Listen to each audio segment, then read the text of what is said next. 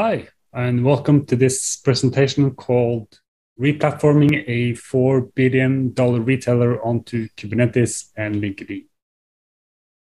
My name is Fredrik Klingenberg.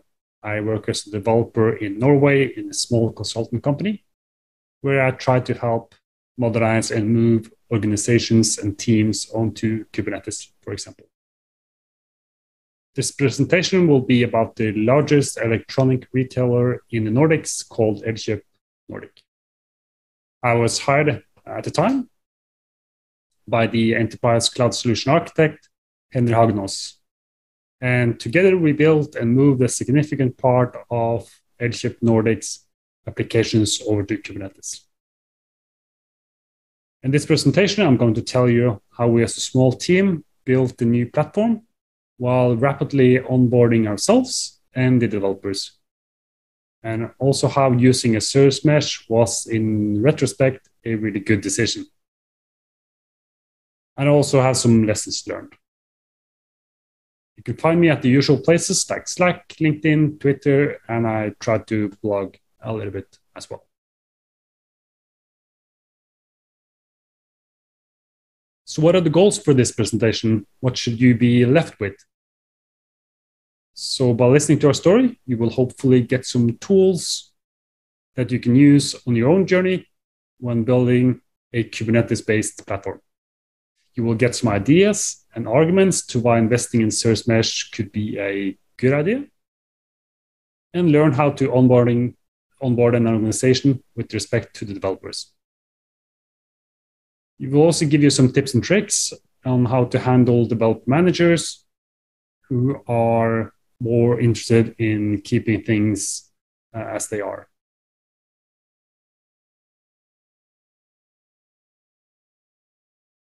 So just to set the stage here, uh, is a, is a large company in European sense. It consists of around 400 physical retail stores. It's a large online presence and has over 25% market share. It sells electronic goods and can be, compared to the Best Buy of the uh, Best Buy in the States.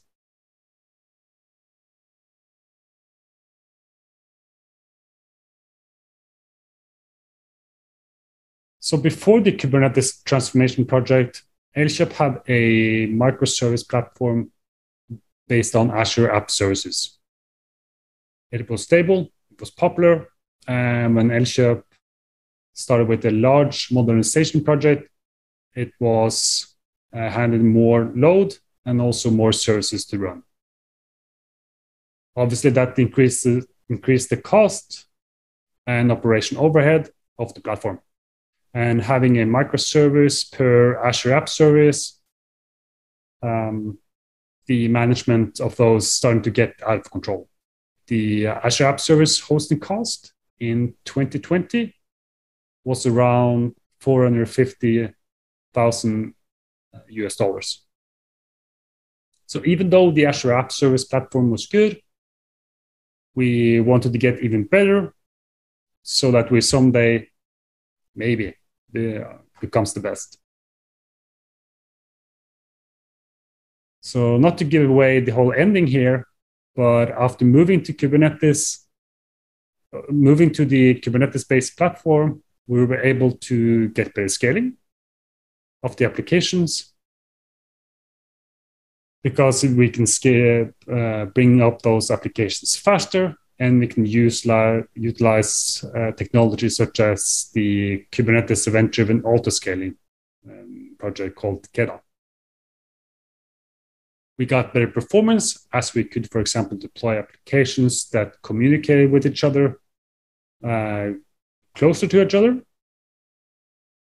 It was uh, a better developer experience where they now had full control over the dependencies, for example.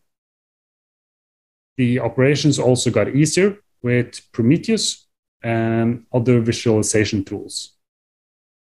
We also got more robust against disasters and had a better disaster recovery plan. But uh, maybe the most impressive metric was the um, hosting cost. So we were actually able to cut 75% of the hosting cost. Uh, that is without taking into consideration the, the savings that we get uh, due to developer productivity. So going back to the before the Kubernetes project, like uh, Henry Haddox had the insights to see where this was heading and decided to get a Kubernetes project approved by the Elkjøp board. I was uh, lucky enough to be hired as a consultant, and together we started building the platform. First off, we thought that we could look at the CNCF homepage for any tips and was pleased to see a link to a landscape page. So we thought, great, this this this this uh, this should be pretty easy then. And then we see this, so it's probably not that easy. So we we quickly realized that we needed some guiding principles on what technology to choose.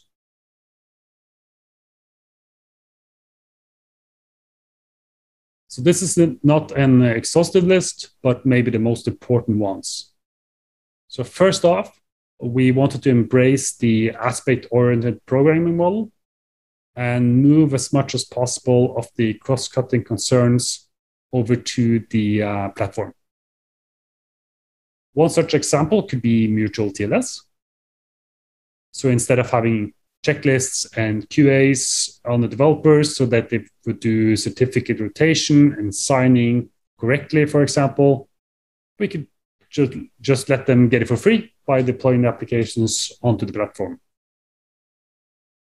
We wanted to create a pit of success.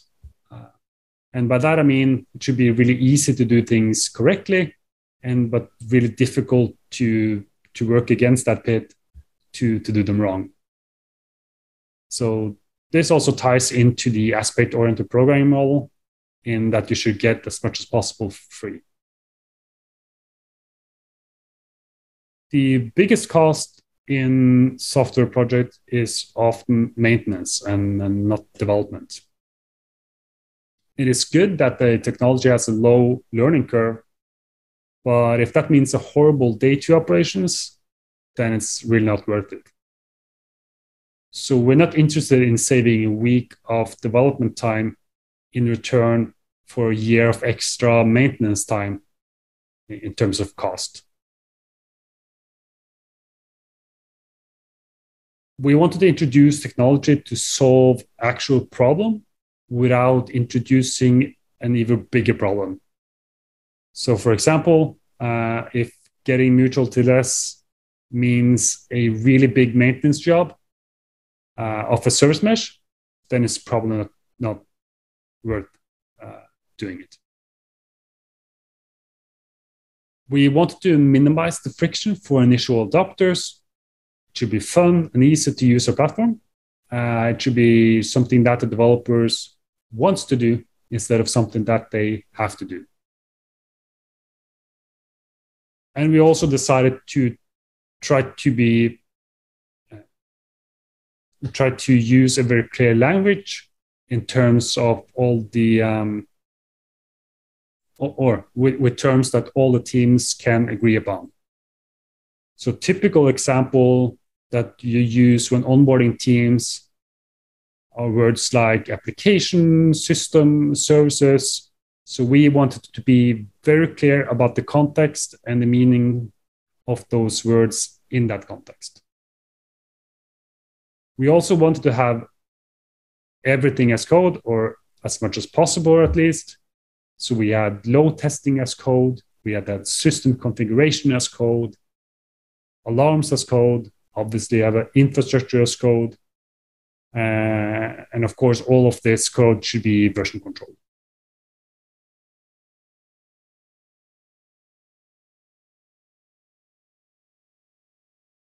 We built up a SRE team from Linux admins along the way as we were building the platforms. They were handpicked, um, and all, and we gave them a lot of responsibility under supervision uh, in the beginning, and they really shined. It was a, it was a good decision. So it's much easier to do maintenance and operations now as they have been a part of actually building the platform. But during the implementation of the platform, with now an increased operation team in terms of size, we saw that we needed some better version control. Uh, and this is where we introduced Flux.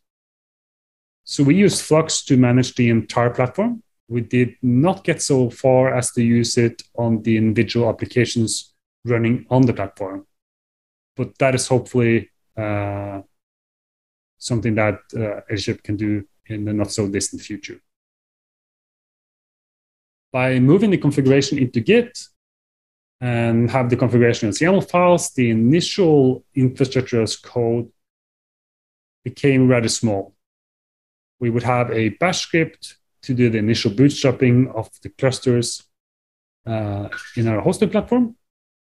Uh, it will start Flux, and then Flux will pull in all of those uh, configuration and um, make Kubernetes move towards the um, the the end state.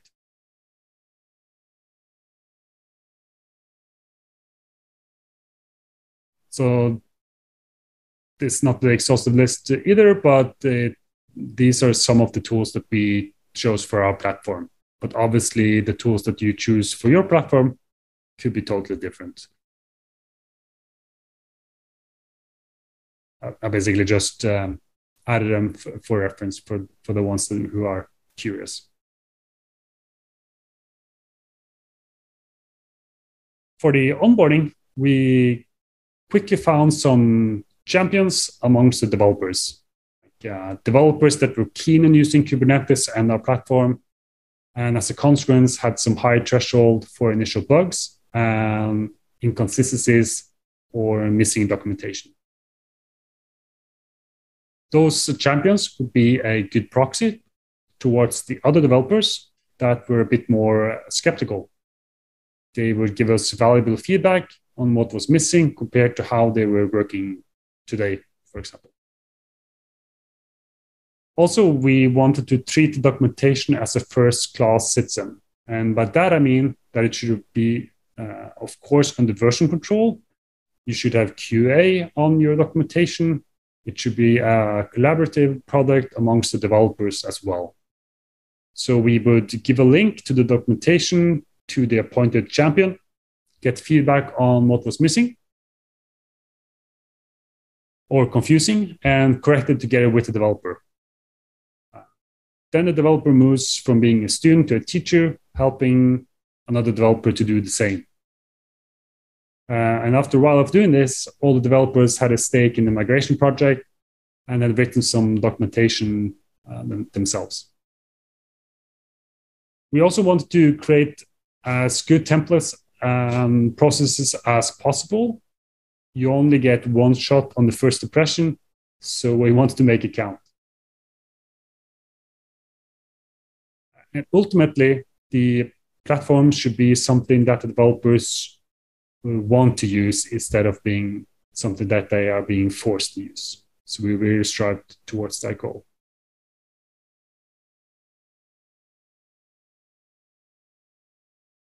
Something we often heard from the developer managers was why bother with this?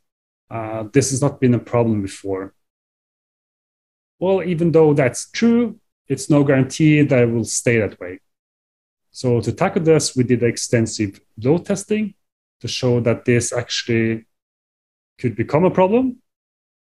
And also, we explained that we are on a mission here to do things even better and that we're not interested in changing things just for the sake of it, to try to keep to, to keep them at ease. We also explain um, how we value their input and concerns, and we try to reflect those concerns and questions in the documentation and the presentations that we have uh, had internally.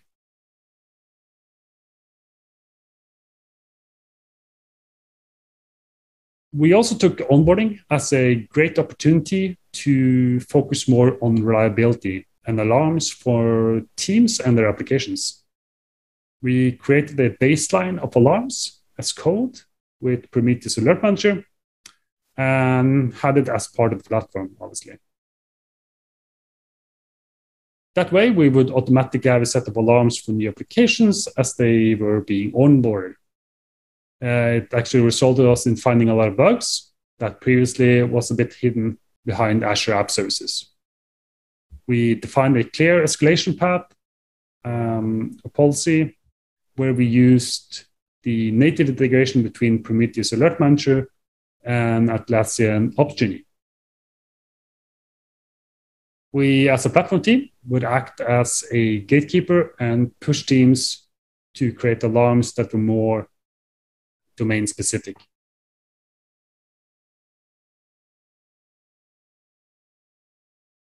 One of the critical design decisions that we need to get right in the beginning was whether or not to introduce a service mesh. Do we really need to bring in even more technology? Like, isn't Kubernetes complicated enough? So Henry gave me a, a week to experiment and see if a service mesh could solve two important problems. We wanted to have all the traffic encrypted with mutual TLS, and we also wanted to get insights into the traffic and application in an aspect oriented way without having a lot of configuration. So we looked at the usual suspects like Istio, Consul, Mesh, um, Linkerd. And the one that was at the time most aligned with our principles was Linkerd is focusing on exactly the two problems that we wanted to solve. It was backed by CNCF, and it was also good that they, they embraced the service mesh interface specification. We quickly saw that it had really good documentation on day two operations, and the community turned out to be second to none. It was really good and quick help whenever we needed it.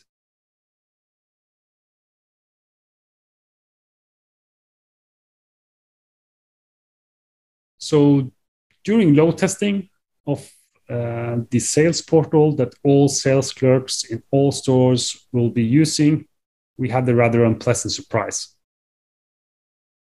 It turned out that the application wasn't performing at all running on our platform, and that this application was an external one uh, being developed uh, that we were supposed to be running on our platform.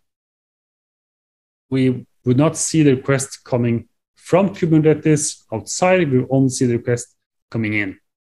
And this was the first case where Linkerd and its insights really saved us.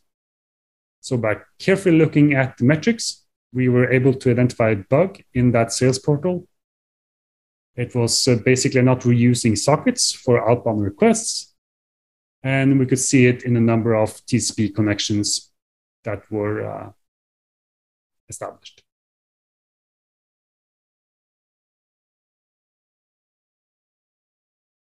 So where's Elkjøp Nordic today?